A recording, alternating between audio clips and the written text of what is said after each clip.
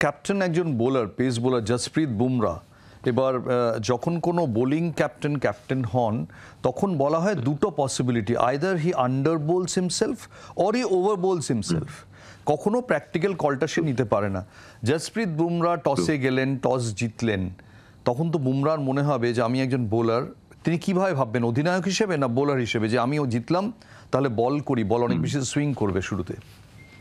গোন্দা আরেকটা জিনিস আছে যে এখানে ইংল্যান্ডে অনেক সময় বলে কি, নিচে তো দেখবেই নিচে মানে পিচটা দেখবি একবার ওপরেও দেখে নেবে।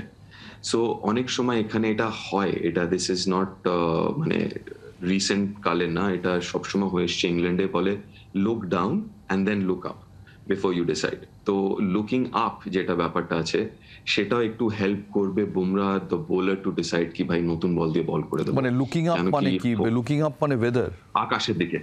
লুকিং আপ মানে আকাশের দিকে। লুকিং আপ ওই আকাশের দিকে যেটা যেটা আমরা এখনও বলছি যে মেঘলা হয়ে রয়েছে আর যেটা ফোকাস দেখছি যে গত আসছে দু তিন দিন এরকমই থাকবে। সানডে অব্দি বেশ মেঘলাই ফোকাস বলছে।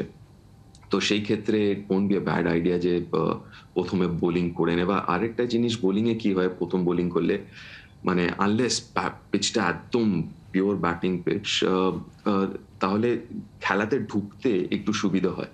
নাহলে মানে প্রথম সেশনে যদি India let's say fifty for four R specially এখন যখন তুমি শুরুতেই বললে দুটো মেন ওপেনার্স নেই, হঠাৎ করে যে পঞ্চাশে চার হয়ে যায় প্রথম সেশনে then you are chasing the whole test match next সাড়ে চার দিন you're chasing off behind you're trying to you know make up কিন্তু ওটাই যদি বোলিং দিয়ে শুরু করে ইভেন যদি একটা উইকেটই পড়ুক but you're always in the game মানে পিছিয়ে যাওয়ার চান্সটা কম প্রথমে বোলিং করলে। বাংলার আওয়াজ, বাঙালির আবেগ। জি, চব্বিশ ঘণ্টা।